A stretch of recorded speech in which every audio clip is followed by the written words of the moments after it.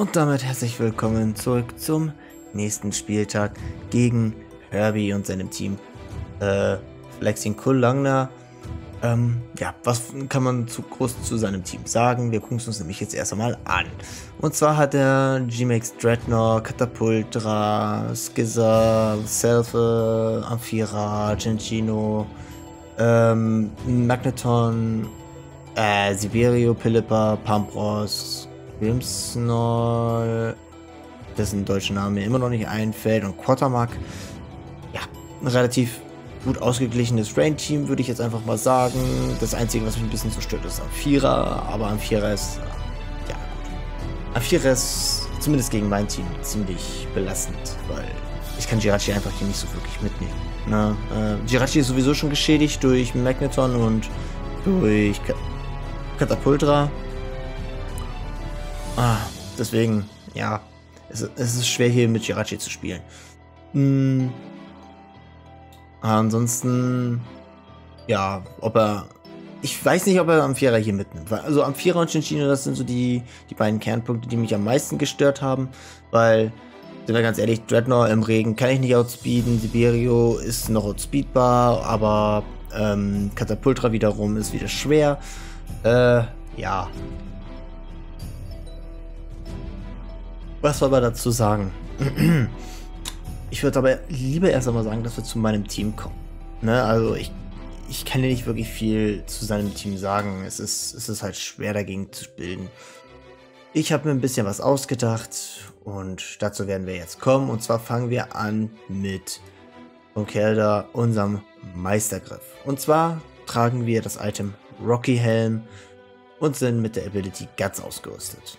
Das natürlich, um, wenn wir von einem ich sag jetzt mal, äh, dieses Pivot-Set von Dragapult oder beziehungsweise Katapultra hier mit Hex und bla bla bla, ne? Wenn wir davon getroffen werden, aktiviert sich Guts, super. Wenn er dann auch noch physisch angreift, Rocky Helmet, noch besser. Ähm, deswegen so dieses Set. Ähm, dann kommen wir zu seinen Basiswerten. Basiswerte sollten euch mittlerweile ein bisschen bekannter vorkommen. 105er HP, 140er Angriff, 95er Defensive, 55er Spezialangriff, 65er Spezialdefensive und 45 in der Geschwindigkeit, in der Initiative. So. Zu meinen EV-Werten. Ich habe 148 auf äh, in die HP reingesteckt, um ja ganz gut mit Drain Punch HP zu generieren und damit wir ein bisschen Amount haben. Ne? Ähm, dann haben wir 252 in der physischen Defensive. Das haben wir natürlich dementsprechend gemacht, um seine physischen Angreifer ein bisschen besser abfangen zu können, besonders als Skizzer. Weil so macht Dual Wing Beat definitiv kein One-Hit, äh, Two-Hit. Mm, und das ist eigentlich ganz geil. Äh, sein Sibiru können wir damit auch ganz gut abfangen und sein G-Max Pokémon können wir auch gut abfangen damit. Deswegen ist dieses Set hauptsächlich da. Ähm, ja, die restlichen 108 in der Initiative waren da um, ich glaube, sie. Nee, ich glaube Pilippa. Pilippa ohne Initiative zu outspeeden. Ich glaube, das war das. Genau. Ähm, ja. Dann kommen wir direkt mal zu seinem Set selber. Er hat Drain Punch, Knockoff, Bulk Up und Earthquake. Drain Punch habe ich ja schon angekündigt, eben gerade wegen dem HP-Wert. Ähm, ja, Gibt eigentlich nicht wirklich viel zu sagen. Drain Punch, wie gesagt, als An Main-Angriffsmove, der Recovery gibt. Äh, Knock-Off für Item wegknallen, ne? Am besten auch bei, zumindest im Self am besten oder für, für sein Katapultra, weil das gerne mal vielleicht Switch-Ins sein könnten. Den Lichtlehm Licht von Grimsnall wegzuhauen wäre auch geil. Ja, und dann haben wir halt, wie gesagt, noch Bulk Up ähm, zum Aufsetzen und Earthquake für, ja, ich sag jetzt mal Magneton, ne? Äh, so ein bisschen als Coverage-Move noch einmal. Dann haben wir als nächstes Pokémon unser Damanitan. wir haben die Ballerbrüder dabei. Und zwar mit dem Item Life Orb und Sheer Force als Ability natürlich. Durch Sheer Force ähm, Attacken, die einen Zusatzeffekt haben, wie jetzt zum Beispiel Flare Blitz, der 10% burnen kann, äh, kriegen wir einen Damage Boost von 1,3 und der Life Orb verstärkt das ebenfalls noch einmal, aber dank Sheer Force kriegen wir durch den Life Orb keinen Rückstoßschaden, was schon ganz geil ist. Ja, deswegen, wir wollen hier richtig Damage drücken mit diesem Set und darum haben wir Life Orb mit dabei. Zu den Standardwerten, da haben wir ein relativ ähnliches Bild zu, zum Meistergriff, nur dass die Defensivwerte ein bisschen schlechter sind. Und zwar haben wir auch hier 105 in der HP, 140 im Angriff, Dafür aber 55 in der Defensive, 30 im Spezialangriff, 55 in der speziellen Defensive und 95 im Speed. Wenn man das mal so vergleicht, ist das fast eigentlich umgekehrt im Gegensatz zu, zu, zu Conkeldor. Finde ich schon lustig. Gut. Ähm, zu den EV-Stats, da brauche ich nicht wirklich viel sagen. Full Attack, Full Speed. Äh, wir wollen möglichst vieles outspeeden, ne, weil er hat vieles, was eigentlich so die 95er Base hat. Das heißt, wir sind Speedtime mit seinem Selfer, sofern er es überhaupt Speedy spielt. Ansonsten sind wir eigentlich schneller als sein ganzes Team mit diesem Pokémon. Äh, bis halt auf sein Katapult ran. Ne? Und wenn dann halt dagegen draußen seine Regensets. Ähm, aber ansonsten sind wir, wie gesagt, schneller. Okay, Amphira und Cinchino. Ne? Die sind noch mit dabei. Aber ansonsten wie gesagt, sind wir, wie gesagt, wirklich schneller als alles andere. Ähm, ja, zum Set selber. Wir haben hier einmal U-Turn, Bite, Flare Blitz und Earthquake. Earthquake wird durch Life Orb leider nur geboostet. Wir kriegen dadurch Rückstoßschaden, U-Turn ebenfalls. Bite ist dafür da, um einen One-Hit gegen Katapultra zu richten. Und Flare Blitz ist halt unser Main Damage Dealer. Unser Main Damage Move. So, besser. Ähm, ja. Mehr zu The Manatine gibt es eigentlich gar nicht zu sagen. Kommen wir dann doch jetzt mal zu Kapokime. Kapokime mit den Leftovers und dem Misty Search ist ja eigentlich relativ simpel. Ähm, man will ja natürlich Recovery auf dem Vieh haben.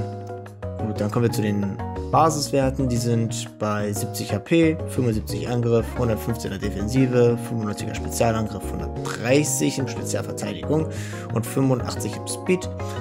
Ähm, ja, kann man eigentlich nicht viel zu sagen. Es ist relativ bulky. Ne?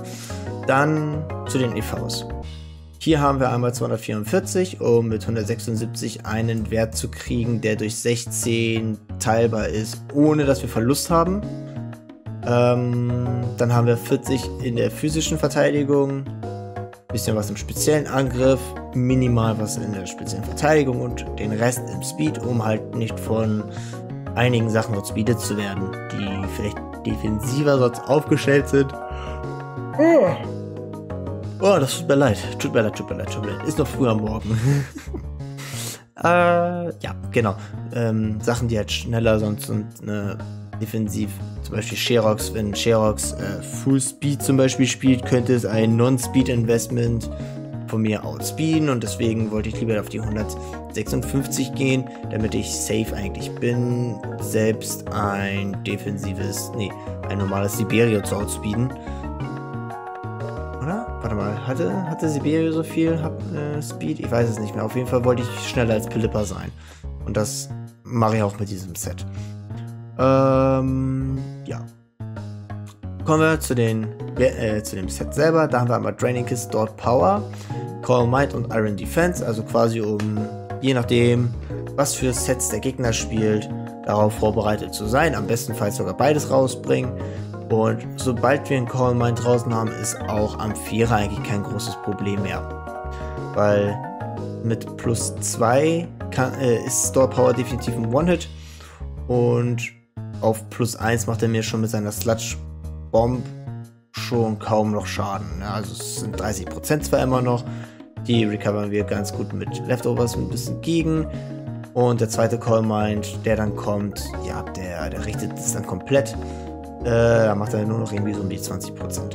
Und das können wir dann irgendwann mit Stored Power und Draining Kiss dann mal wieder reinholen. Besonders weil Draining Kiss ja 75% vom Damage wieder zurück äh, regeneriert, was schon ganz geil ist, besonders auf plus 2. Äh, tut schon so ein Draining Kiss ganz doll weh und kann auch ein Katapultra one-shotten. Äh, was zum Beispiel so ein Moonblast ohne Invest äh, mit Investment natürlich auch tun würde. Aber ja, ich habe es im Endeffekt jetzt so gespielt. Weil ich wollte ein cooles Set mal machen mit Kapukime. Sah sehr interessant aus. Und ich meine, wie gesagt, wenn das Ding aufgesetzt ist, dann verliert er halt gegen Kapukime. Ne? Und das ist eigentlich das, was ich am ehesten herausforcen will. Gut, dann haben wir als nächstes Pokémon Libeldra. Libeldra ist unser äh, Scarfer in dem Fall, in diesem Match. Mit der Levitate ist natürlich klar, ist die einzige Fähigkeit. Äh, seine Basiswerte relativ übersichtlich wieder. HP 80 sowie defensive Spezialangriff und Spezialverteidigung und Angriff und Initiative sind auf 100. Zu seinen Wesen und Werten. Ähm, wir haben einmal Adamant-Wesen mit äh, Full Attack. Ne? Weil mit dem Scarf sind wir schneller als jedes Pokémon außerhalb von Scarf und Rain. Und konnten deswegen mit 180 agieren in der Initiative und den Rest halt in speziell defensive reinpacken, um halt, was weiß ich, okay, gut, einen Draco Meteor werden wir nicht tanken, ne, aber egal. Äh, außerdem sind wir auch um einen Punkt schneller als sein Katapultra mit diesem Set. Ohne einen Scarf oder Dragon Dance drin. Also von daher, das funktioniert ganz gut. Ähm, dann haben wir als Moves U-Turn, Earthquake, Fire Punch, Stone Edge. Da haben wir nämlich das nächste Problem, weil wir können keinen Drachenmove spielen, solange wir Kapukime dabei haben. Also wir könnten schon spielen, es würde uns aber nichts bringen. Das ist halt so ein bisschen das Problem an Flygon. Es hat halt nicht so die ganz guten Sachen, aber ich will halt überwiegend eh immer Earthquake drauf haben und das ist mir wichtiger, weil Earthquake ist vor den Drachenattacken. Die Drachenattacken, die sind meistens eher neutral, helfen mir eher weniger. Ich meine, in dem Fall wird es mir jetzt hier helfen, aber gut, das jetzt mal beiseite gestellt. Ähm, na, wir haben wie gesagt einen Earthquake, Fire Punch und Stone Edge. Die Stone Edge ist dafür da, um seinen Pelipper zu töten. Fire Punch ist dafür da, um sein äh, Skizzer zu töten.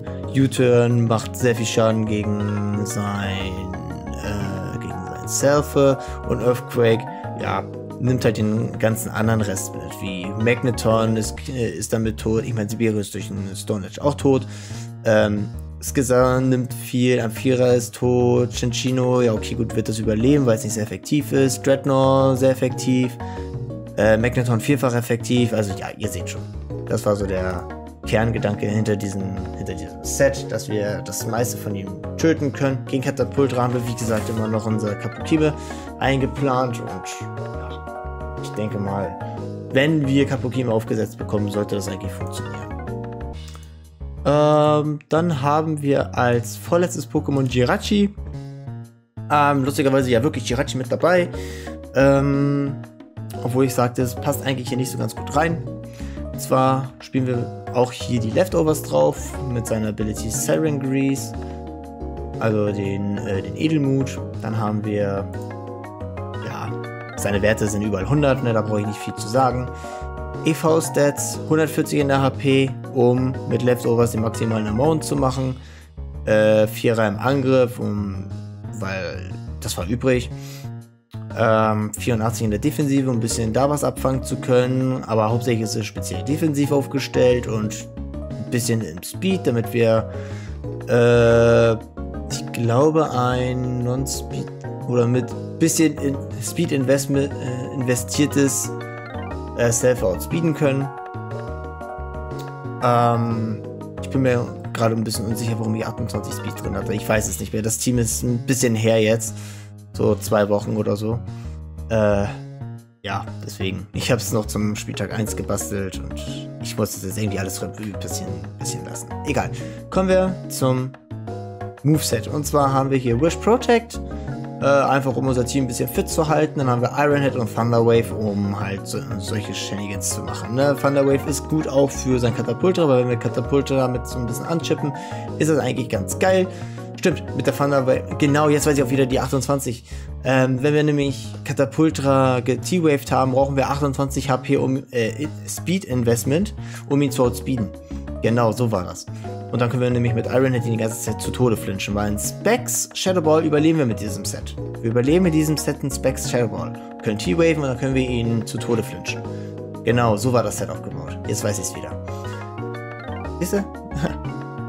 ich krieg's dann. Gut, dann kommen wir doch zum letzten Pokémon und das ist Toxtricity. Ähm, ja, Toxtricity ist wieder mit dabei, nachdem es letzte, letzten Spieltag nicht so wirklich viel, glaube ich, machen konnte. Ich zeigen konnte, was es kann, deswegen hoffe ich, dass es heute funktioniert. Wir spielen es wieder mal mit dem Choice Specs. Punk Rock ist natürlich klar. Ähm, Werte äh, sind wie folgt: HP 75, 98er im Angriff, was ganz gut ist eigentlich, Defensive 70, 114 Spezialangriff, 70 in der Spezialverteidigung und 75 in der Initiative. Ähm, zu den EVs brauche ich eigentlich nicht wirklich viel sagen. Es ist Modest Wesen, Full Attack, Full Speed. Ähm, zu den Attacken komme ich direkt dann jetzt auch, um dieses Video ein bisschen abzukürzen. Und zwar haben wir Overdrive, Boomburst, Snort und Sludge Wave. Kurzum, wir treffen damit alles sehr stark. Pampros ist kein Switch-In für einen Boomburst, das ist entweder instant tot oder ein True-Hit. Selbst wenn er es komplett speziell defensiv spielt oder wenn er eine Assault Vest spielt mit physisch defensiven äh, mit physisch defensiven EVs ist Pampros dennoch ein Two-Hit vom Boomburst und das ist geil. Toxicity ist einfach so stark. Es ist einfach so ein Bam, Baller, Baller, Baller. Oh, es ist so schön. Ich mag das Team. Ich mag das Team wirklich. Ähm, ja. Das wäre so mein Team gegen ihn. Ne? Ähm, ich, wie gesagt, ich brauche zu Toxicity nicht wirklich viel sagen. Es soll einfach nur ballern. Snorl ist dafür natürlich da, um auch ein Katapulter zu one-hitten. Äh, lustigerweise funktioniert das. Äh, und wenn nicht, ist ein Spezialangriff um 1 gesenkt. Das heißt, er kann mir auf der speziellen Seite auch nichts mehr anhaben. Ähm, Overdrive, äh, Overdrive natürlich als Main Step Move, Sludge Wave ebenfalls als Main Step Move. Wobei aber der Overdrive geboostet wird, im Gegensatz zur Sludge Wave. Äh, und Boomburst als 100% plus Ultra Coverage Move gegen all, eigentlich gegen alles.